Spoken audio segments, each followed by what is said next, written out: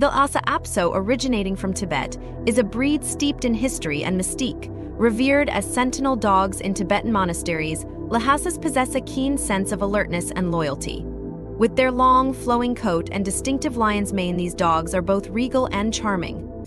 Despite their small size, Lhasa Apsos are courageous and independent, making them excellent watchdogs and loving companions. Their unique appearance and spirited personality make them cherished pets around the world.